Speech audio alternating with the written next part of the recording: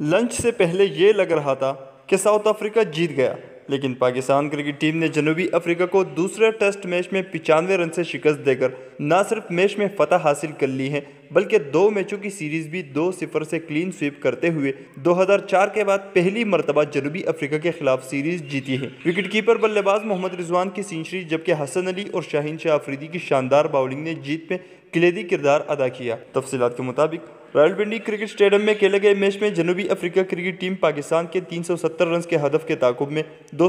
Run बनाकर out हो गई। मैच के पाँचवें रोज जनूबी अफ्रीका के एडर मोरग्रम और रिसी वेडर रोसन ने एक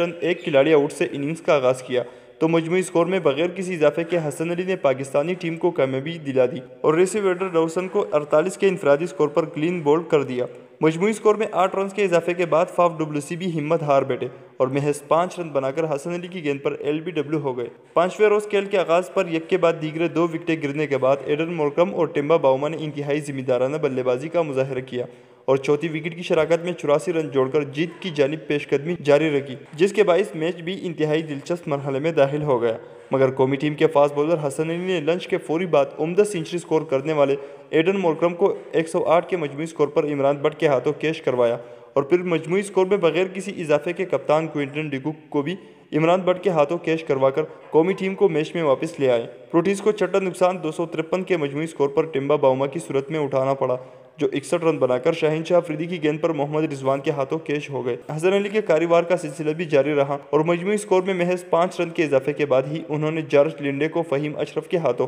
कैश करवाकर कौमी टीम की जीत की जानब एक और कदम बढ़ा दिया। शाहीन शाह अफरीदी ने कौमी टीम को आठवें कामयाबी दो सौ अड़सठ के मजमू स्कोर पर दिलाई और केशु महाराज को सिफर के इंफरादी स्कोर पर इमरान बट के हाथों कैश करवा दिया। जबकि मजमू स्कोर में बगैर किसी इजाफे के उन्होंने गागिसुर अबादा को भी सिफर के इंफरादी स्कोर पर क्लीन बोल्ड कर दिया। और आखिरी विकेट यासिर शाह ने हासिल की। पाकिस्तान की जानब से हसन अली ने इंतहाई उमदा बॉलिंग करते हुए 16 ओवर में 60 रन के औस पाँच खिलाड़ियों को पवेलियन की राह दिखाई और शाहीन शाह अफरीदी ने 21 ओवर में इक्यावन रन के औस चार विकटें हासिल की, जबकि लेग स्पिनर यासिर शाह एक खिलाड़ी को आउट करने में कामयाब हो सके।